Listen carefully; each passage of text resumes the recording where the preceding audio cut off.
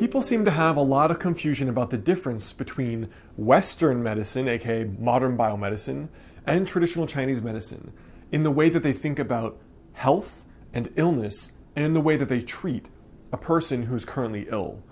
Well, in this video, I want to share what I think are three of the most obvious differences between the current biomedical thinking and Chinese medicine thinking, and how it can really help you think about whether it's your own health symptoms or your own life.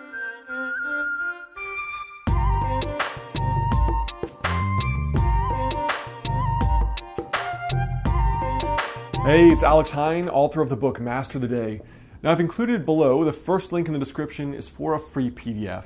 Five daily rituals that can possibly help you add 10 years to your life with traditional Chinese medicine. You can check it out right there, the first link in the description. So, the first thing here is that in traditional Chinese medicine, practitioners treat according to patterns and not just individual symptoms. So, when it comes to treating a pattern, for example, let's say a person has insomnia. Well, in my understanding, if you go to your physician, there will probably be very few referrals to maybe getting a sleeping pill or an anti anxiety medication or maybe an antidepressant, some kind of SSRI. But that doesn't necessarily deal with any of the underlying reason why you have a sleep problem. You know, by comparison, you know, let's say, for example, you have someone who's going through divorce, someone with digestive problems, someone who's anxiety or depressed, someone who's stressed.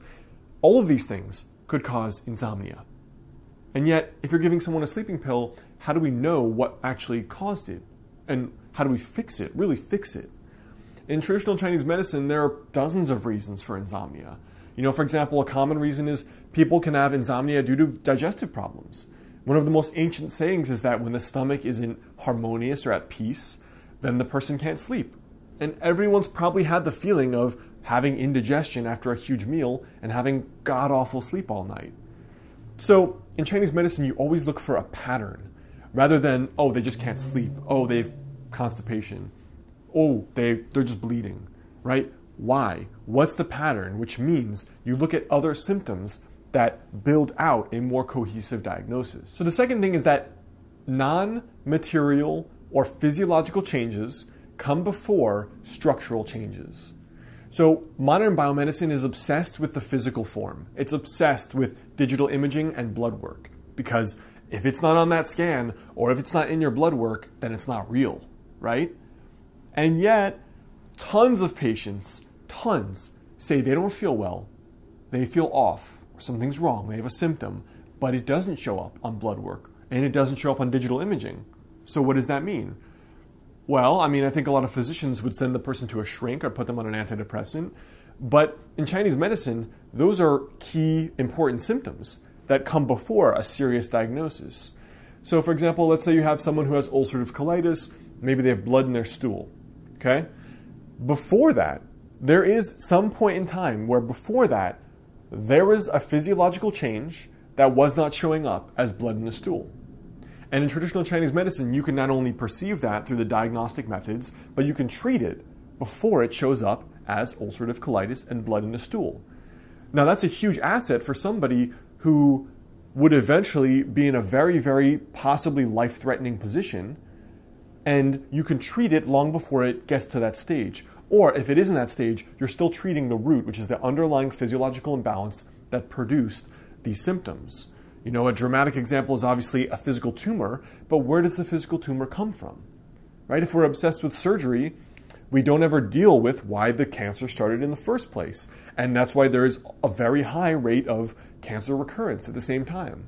So that did not fix why the cancer happened. And in the same way, we need to understand what is the root behind all of this. Behind the gallstone, behind the uterine bleeding, behind the bleeding from ulcerative colitis, behind the cancerous tumor. What is the physiological change? What is the imbalance in the body that allowed that to happen?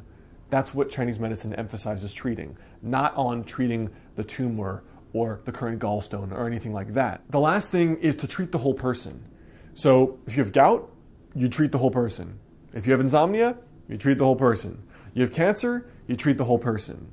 What that means is that different people's constitutions and genetics express illness a little bit differently and predispose people to certain illnesses or certain manifestations of sickness differently, but often in consistent patterns. And so you may have someone who's predisposed to gout like issues, predisposed to diabetic like issues, someone who's predisposed to insomnia, anxiety, depression, predisposed to whatever it is, digestive problems. And so you're always treating the constitution of that human. You're not thinking, okay, oh, we got bloating and constipation, we're going to treat bloating constipation.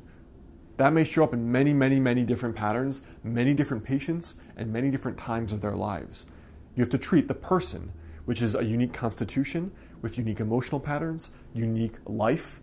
You have to treat the human being in addition to treating the illness, which is often you treat the person to treat the illness. So, those are three preliminary differences between what people call Western medicine, but is really just modern biomedical thinking, biomedicine, and traditional Chinese medicine. And I think you can apply these things to get better results even if you are a conventional biomedical physician or a conventional practitioner of medicine. You can also apply these principles to your life to live a better life in the same vein. So I hope that helps. Again, best way to stay in touch, you can grab the free guide down there below, the first link in the description. It's for five daily rituals that can possibly help you add 10 years to your life with traditional Chinese medicine. And then check out my last related videos on this exact topic right there and then right there.